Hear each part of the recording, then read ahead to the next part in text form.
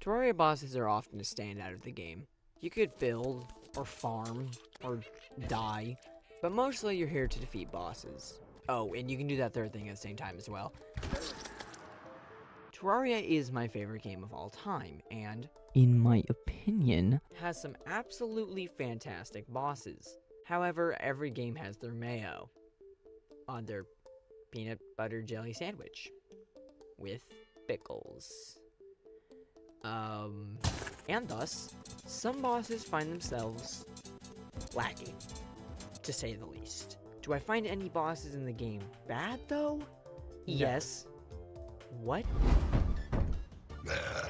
At the very bottom of the list, we have Deerclops, the only boss in this game that I can confidently say I'd sacrifice for the Soul Stone. Oh wait, you have to love them. I've covered this boss on my channel before in a video you shouldn't watch, but I don't quite think I expressed my disdain for this beast. Two words. Goddamn Shadow Hands. Oh wait, Shadow Hands. Shadow Hands are maybe the worst thing in this game. They spawn on you, straight up. What is this? Well actually, they spawn in front of you and you ran into them. Shut up, Neo! Go back to dodging bullets! Okay, let's make this easy to understand. Hate. Hands, applied slowness, trash drops, etc. I, I ran out of ideas. You know the hype you get when it's time to fight Plantera? Yeah, Golem makes me feel whatever the polar opposite of that feeling is. If Plantera was watching your baby be born, Golem is like watching it suddenly and violently erupt into a fireball. Actually, no. That's too exciting. It's more like watching it grow up to be a low-life loser, and like my hero. He's just boring, a pushover, and wasted potential. Just so we're clear, I like King Slime. I think he works as a tutorial boss. Unfortunately, like most tutorial bosses, he does his job and that's it. The only time he's kinda interesting is when you're playing Get Fixed while you're for the worthy. Alright, this is probably my first controversial placement, but I'm not a huge fan of Queen Bee. I don't have anything against the boss per se, it just kinda exists. She can be fun to fight sometimes, but most of the time she's just kind of a quick pushover filler boss. At least, for me, she's a filler boss. I'm not a huge fan of the bee weapons. The royal family didn't make it too far in this ranking. Like Queen Bee, I'm never in a hurry to fight her. And again, like Queen Bee, she usually feels like filler. I like the Hook of Dissonance, and if I'm playing Summoner, the Blade Staff, but I find the boss to be a bit boring. I thought I'd like this boss more when it first came out, but it's kind of just an easy bullet hell. I think the hellishness of the bullet hell could have been exaggerated, especially in the second phase. However, she is a hard mode warm-up boss, so maybe don't do that. The Destroyer, the definitive worst mech boss. I don't know about y'all, but this boss feels moderately fun half the time and if not moderately fun, really fun? Sometimes I just really like fighting the Destroyer. My brain sees all the flying colors like, wow, that's cool. Other times, however, it's just like, cool. Okay, I think this is the part of the list where we are perfectly mid. The Lunatic Cultist is the Lunatic Cultist. I think he's cool, I think it's nice that we have a boss-sized player. What? I think it's nice that we have a boss that's player-sized. However, I will be honest, I think this boss has the most missed potential of any boss in the game. I mean, for being the penultimate boss, you'd think it'd be a bit more crazy, but really it's just a setup for the pillars. Skeletron Prime blows Skeletron. Yep.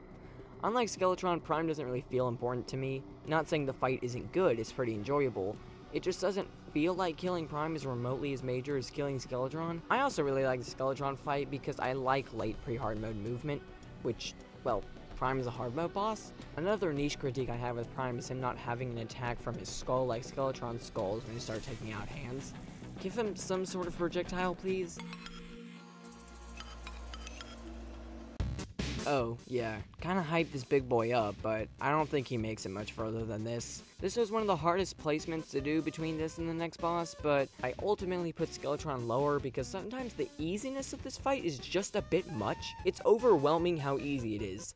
The crushing weight of the effortlessness is just, just I, I don't know, I, he, he's easy, okay? Initially, the Brain of Cthulhu was supposed to be a fair bit higher on the list, but then I realized, hey, he's not that good. Fun story, right? It's really hard for me to decide whether this one or the next one should be higher on the list. This whole list is hard for me to make. I've tried making Terraria boss tier list before. It's hard for me. Like, my favorite boss, I don't know. However, I feel like at the given moment. Dang, this entry got me thinking.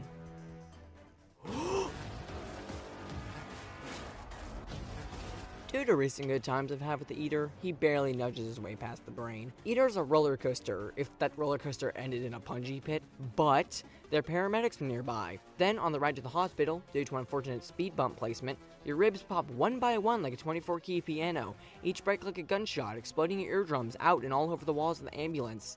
It's like a bloody firecracker just went off. But, good news, you can no longer hear the bad news. The truth can be dangerous. That's kind of how I feel about the Eater. Every time I think I hate him, I realize it's not all that bad. Iconic. I think the Eye of Cthulhu works as the first real boss. King Slime is just the warm-up. You don't remember your first fight with King Slime. The Eye of Cthulhu though? Oh yeah. Truly this boss may be the perfect first boss. It's not extreme, but it's scary. A giant eyeball comes rolling up on you after you're ominously told an evil presence is watching you. I think the way this boss forces itself to be known is really what makes it a standout compared to King Slime. Not only this, but the boss toys with your curiosity. Sure, he could randomly decide to roll up, but the other way the boss forces its presence is through the summoning item, which you can find stored in chest while spelunking. Reading the tooltip, the name, the achievement pop, you know things are about to go down. Okay, here's my thoughts on Duke Fishron. If this list was purely going off the boss's fight mechanically, Duke would be in the top three.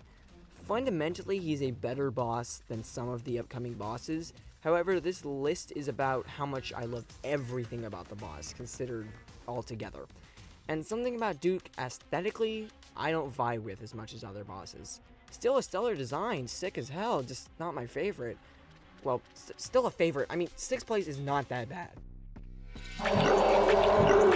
I really wanted the Wall of Flesh to be higher, I really did. I found a way to justify him just barely making it to the top 5, but I couldn't push him up any further. Similarly to Eye of Cthulhu, this boss really shines the first couple of times you fight it. In terms of experiences to remember, the amount of nostalgia I feel fighting the Wall of Flesh on my DS is honestly uncomfortable. Dark Lance is my go-to for him. it's funny. However, the more I've played over the years, the less and less cinematic he feels every time. Unless I'm doing a challenge run, he's just waffing around, just being his normal waff self, but that first time is a moment to remember. The Empress is a fantastic boss. Visually and mechanically, it's nearly perfect. The fight is an endurance test done right. It doesn't feel bloated for the sake of being bloated. Yes, she's tanky, she does a lot of damage, she moves very quickly, but it all feels so deliberate and thought out. This is without even mentioning Daytime Empress, the mechanic that boosts this boss up just beyond a good endurance test, but practically, for the sake of the argument, the definition of an endurance test. And it's brilliant. I've gotten to the point where I've mastered this one-shot phase, and it was fun. Like, actually fun. A boss that one-shots you was fun. Truly amazing. The vibes, the vibes, dude! The rock theme for this boss just elevates it beyond human comprehension. I lied. I can still see and understand it. The Guardian of the Jungle thing was done really well. I think it was such a fantastic idea to not just have another jungle boss, but specifically a jungle boss meant to accompany the upgraded hard mode jungle. This boss makes beating the mech bosses feel so good. The jungle grows restless. It's such a cool line, dude. The vines, dude. Plantera feels ominous, like she truly spanned the entire jungle. And that's just the vibes department. The actual fight elevated this fight beyond human comprehension. Okay, I lied again. But I'm glad we can still comprehend this because... Oh...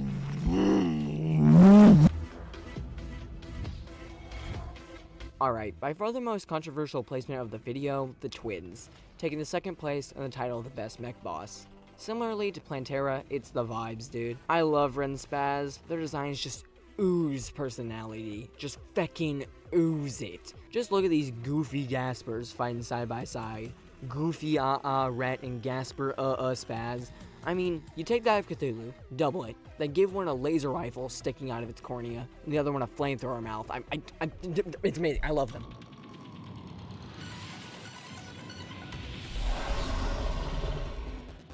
Beating this boss for the first time was truly one of the most rewarding final bosses in any game I've played. And then they rewarded me with a flashbang, holy! The atmosphere, it just feels like the world is at risk. The sky is dark, your vision gets all blurry, there's a giant eldritch horror that shoots giant death lasers at you, like, that that wait, that's not good for the world. And the fight reflects that. It's not an easy fight, especially the first couple times you fight it. And that's good. It makes it so rewarding when it's all said and done. And then they flashbang you, oh my god! Also, just a little thing that got me so hyped the first time I fought this boss. Obviously, I like my eyeball bosses. And the true eyes were just so hype. Like when my cursor crossed over those things for the first time, everything felt immediately worth it. Connecting the first and last bosses together like that just mwah, so good. And then they flashbang. Boo. I hope you all enjoyed this filler video. I'm just trying to make some small videos to get more used to this new editor I'm using. Not to mention I'm not editing on a phone anymore. As for video contents, do I 100% agree with my own list? Um, no. I've always found Terraria boss tier list to be something I can never make. I just don't know what my favorites are. They all serve their own purpose. However, I think this list generally summarizes the gist of how I feel about these bosses, so I'm okay with where it stands as of right now. That will likely change in the future. Oh, uh, one last thing. There's going to be a link in the description and a pinned comment to a Google form that I'm going to use for a future video. If you want to participate, it would be much appreciated.